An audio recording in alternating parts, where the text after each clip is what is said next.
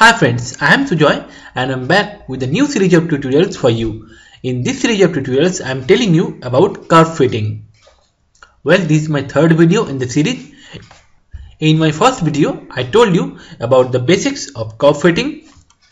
In my second video, I told you how to fit a curve by method of group averages. In that video, I told you how to fit a straight line in the form y is equals to ax plus b. And today in this third video, I will tell you how to fit a curve in the form of y is equals to ax square plus bx plus c. Our question is fit a curve of the form y is equals to ax square plus bx plus c for the following data by the method of group averages. So this is our given data set where some values of x are given 0, 2, 4, 6, 8, 10 and corresponding y values are also given. So for x equals to 0, the value of y is 6.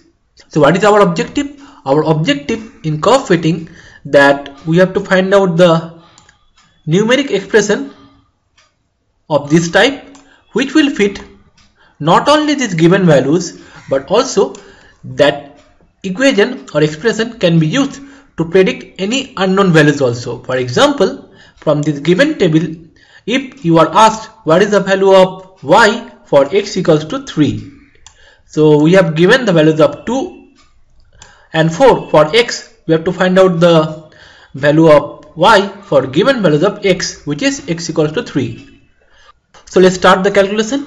So let y is equals to ax square plus bx plus c is our equation number 1 which is given in the question. So first we have to convert it into the standard form that is y is equals to ax plus b form. One note for you y is equals to ax plus b is also represented as y equals to a plus bx. This type of representation is followed by the Casio calculators. You will learn about this representation when I will tell you how to do curve fitting directly on Casio FX and on ES scientific calculator. So for now to bring this expression into the standard form we have to take any data set from this given data. So we will take let's say 2 and 9. So for x equals to 2 the corresponding value is 9.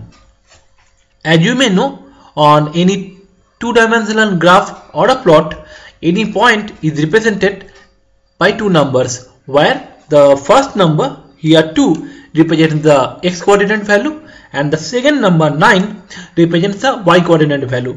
For example, if you plot a graph like this and if you draw a point like this, so the point 2 represents the distance from the y axis that is x coordinate value this and 9 represents the distance from the x axis or y coordinate value. So 2 comma 9 represents a point on the curve and our curve let's say like this and our point lies on the curve. So by putting y equals to 9 in this expression and x equals to 2 we will get 9 is equals to a into x square that is 2 square plus bx that is b into 2 plus c. I have simplified it for you. So 9 is equals to a into 2 to the power 2 is 4 that is 4 into a 4a plus b into 2 that is 2b plus c. Now if you subtract the equation number 2 from equation number 1 that is this you will get so you will get y minus 9 written here is equals to you have to do the subtraction for each element. So ax square minus a into 2 to the power 2. So that is written here ax square minus a into 2 to the power 2 plus bx minus b into 2 that is bx into b2 and plus c minus c that is written here plus c minus c. So by subtracting equation 2 from equation 1 we will get this form. And now let's simplify it. y minus 9 is equals to and you can see a is common in both part. So if you take a common out you will get x square minus 2 square plus similarly here b is common so if you take b out you will get x minus 2 so b into x minus 2 plus c minus c is equals to 0 let's come to next step. y minus 9 is equals to and here the form is x square minus 2 square. So that is you can write a square minus b square form. So a square minus b square if you factor it you will get a plus 2 into a minus 2 that is x plus 2 into x minus 2.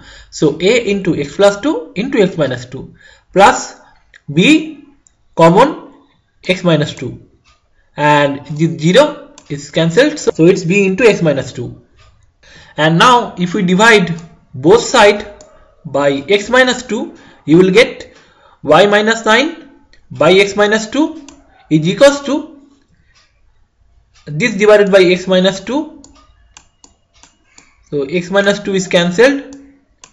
And b into x minus 2 divided by x minus 2 so that is also cancelled.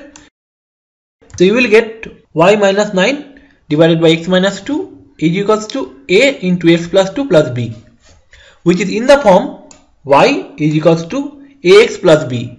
That is our standard form and this is our equation number 3 where y which is the left hand side is equals to y equals to y minus 9 divided by x minus 2 and x is equals to x plus 2 now we can apply the method of group averages.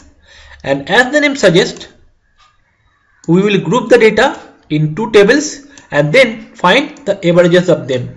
From that the name is group averages method. So for grouping we will divide the table in two parts or two groups. One is group A. In group A we will write the first half of the table. So here we have six elements three here and 3 here. So we write the first three elements of x and corresponding y values in group A and remaining x values and corresponding y values in group B.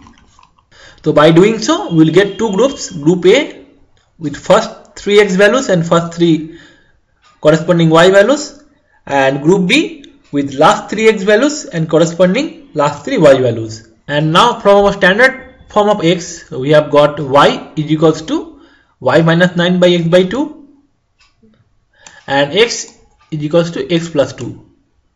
So we'll work on this form not on simple x and simple y values as we did in our previous example. In previous example we just divided the table in two parts and start the calculation but in today's math since our x is now replaced by x plus 2 and y is now replaced by y minus 9 by x by 2 so we'll work on this set of data so let's find out the modified x value that is capital X which is equals to small x plus 2 so small x is 0 plus 2 that is 2 and corresponding y value is equals to small y minus 9 divided by small x minus 2 so small y is 6 minus 9 that is minus 3 divided by small x minus 2 so small x is 0 minus 2 that is minus 2.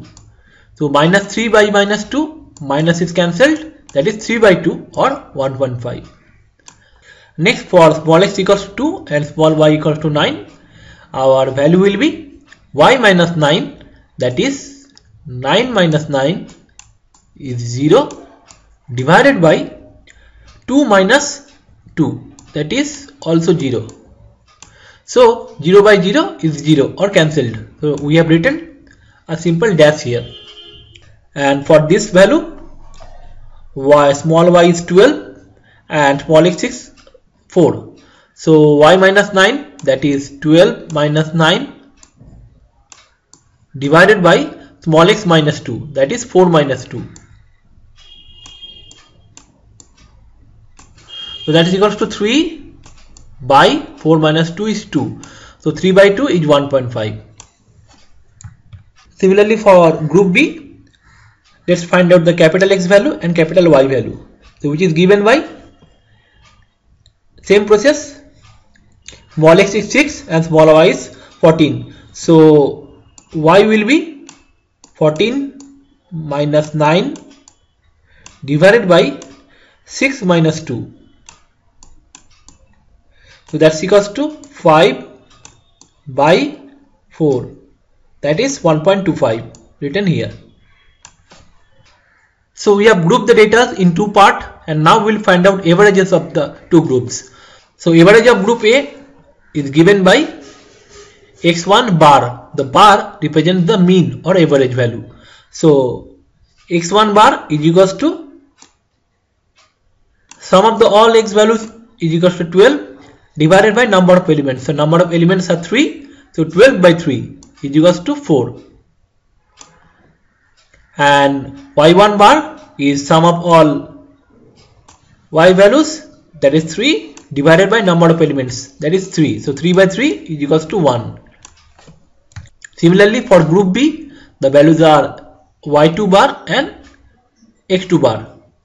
So sum of the all x values in group B is 30 divided by number of elements 3. So 30 by 3 is 10. Similarly for group B sum of all y values is equals to 3.965 divided by number of elements 3. So 3.965 by 3 is equals to 1.321.